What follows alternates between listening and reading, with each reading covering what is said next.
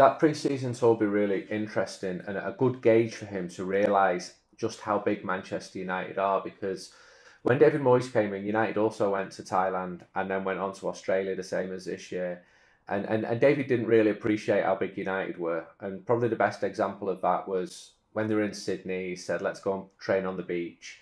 And United security said, no, that, that that's a bad idea. And we, we did it with Everton and there were no problems. And then doing it with Manchester United was was very different. And even though United have been poor, I think down in Australia, there's going to be huge, huge crowds there. There's going to be 95,000 people. And to be fair, Liverpool had 95,000 after they finished seventh in 2014 when they played in Melbourne. So there, there are some parallels there. And I think it'll it'll it'll dazzle Ten Hag when he goes to Thailand and he realizes that the players can barely leave their, their hotel floor because Manchester United are so big. And you can take that in two ways. You can think, wow, I'm impressed by this because it is impressive, that sort of Beatlemania. Or you can be daunted by it. And he's got to have the personality, which I think he does have.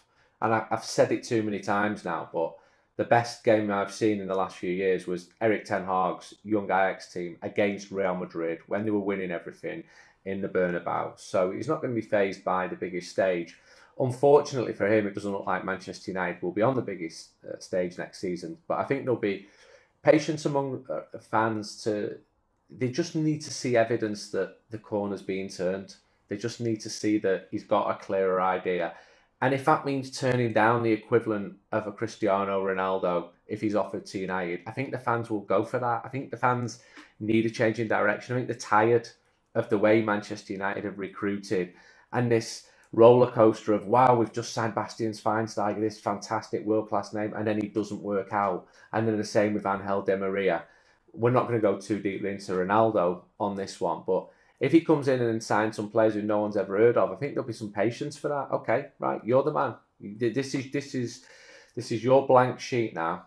Um, of course, it's never truly blank because there are players who are contracted. I think some United fans at the moment would get rid of absolutely every single player who's there. It's not going to work like that. There's going to be three or four going out, three or four coming in. Those numbers may go up, up, up or down.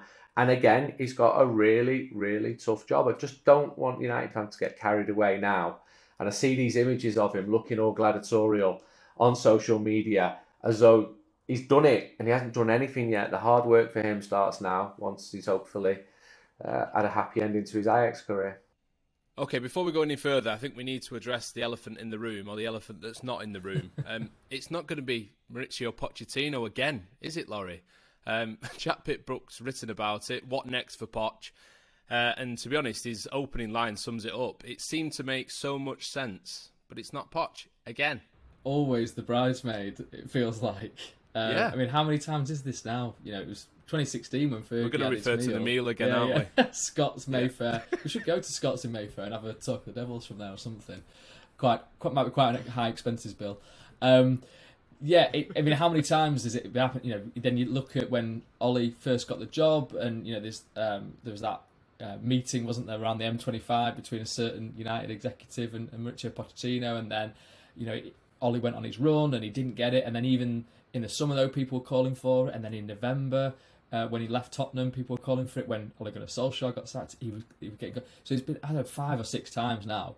And I think if you're taking the poll that Gary Neville put out about fans' preference between him and Erik Ten Hag at any point prior to March, which is when this search was going on, um, it would have been a bit different. But yeah. Um, he's you know, Jack's got a really good piece there. He knows um, the situation around Richard Pochettino really well. Um, it's an interesting one with the PSG dynamic being what it is. Uh, you know, I wonder if they would, would have been more open to seeing to, to letting him go to Manchester United because it was very much beforehand a case of them wanting to save face and not being seen to have a manager poached from them. But you know, if they've decided that he's not for them, then you know it's more of a palatable situation, isn't it? That being said, as, as David Ornstein mentioned, it was a trickier uh, exit, I suppose, to negotiate than it is at Ajax, where it's you know a kind of mature situation where they understand that people move on. Um, but I don't know where he go. I mean, unless PSG, you know, do keep him and they totally sort of change the dynamic at that club. Um, you know, you never know. Maybe with Mbappe going, uh, what happens with Lionel Messi? You know, there is a potential that they could, you know, think actually we'll we'll just back Pochettino in the way that he wants to have his team perform.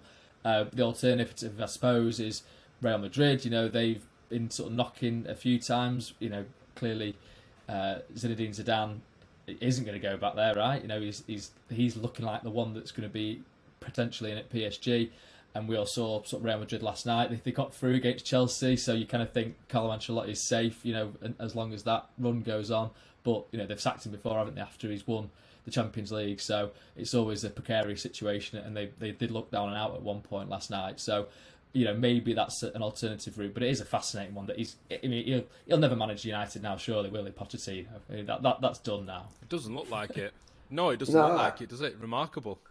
I'd say never, never say never in football because the, the it can turn quite quickly.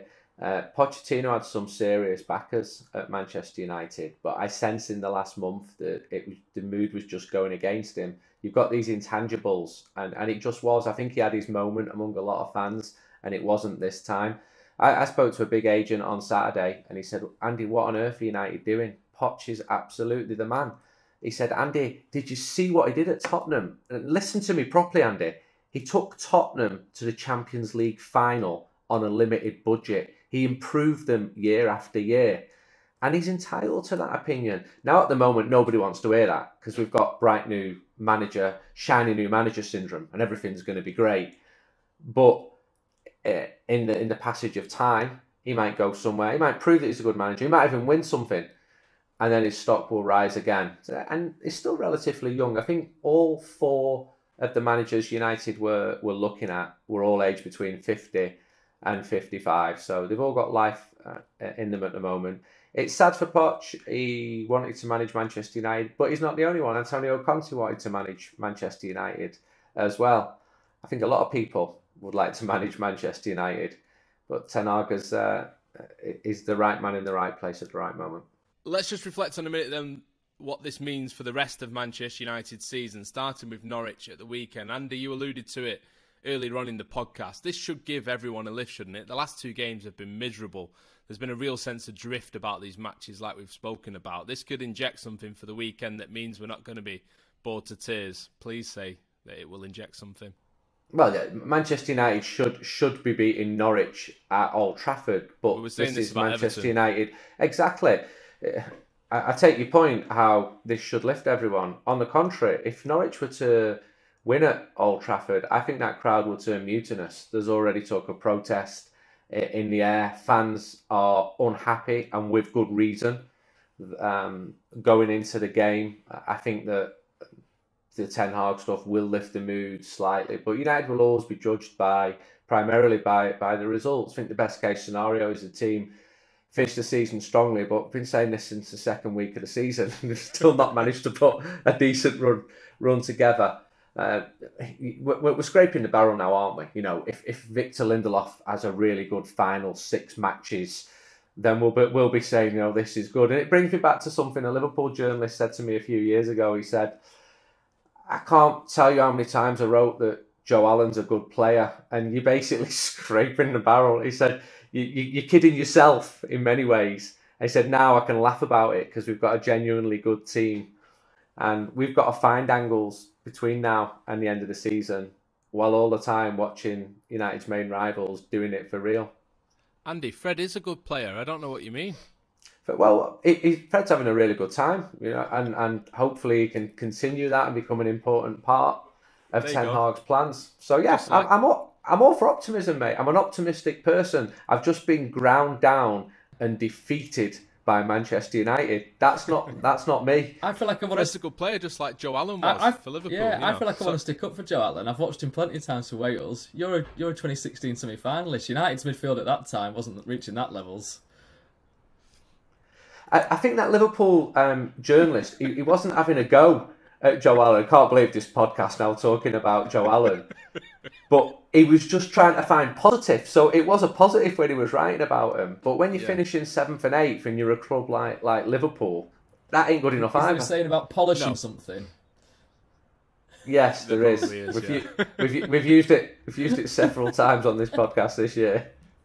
One final point then. Ralf Rangnick, Laurie, obviously still the interim manager. No matter what happens with Ten Hag, I'm sure he'll remain the interim manager until the end of this campaign. The question, obviously, refocusing on what happens next for him. Ten Hag feels more like someone who is aligned with the thinking that Rangnick may have had for the club from some of the reports that's come out. What do you think this means for his his future relationship, should we put it, with the club? Yeah, it will be interesting. I wonder if Erik Ten Hag will have a conversation with him. I'm sure he will. You know, um, Ralf Rangnick had a conversation with Ole Gunnar Solskjaer, didn't he, when he came in and, and kind of picked his brain. So I'm sure that'll happen. Um, the extent to which Ralf Rangnick is kind of formally involved in Manchester United, though, is still to be determined. I mean, I, I get the impression that the consultancy really will be a case of you know picking his brains as and when, and maybe if you know he's got a good contact with an agent or a player, you know they, they can ask and, and you know he can perhaps help in that situation. I don't think it's going to be a kind of you know overarching director of football kind of style role. It'll be a, an advisory capacity.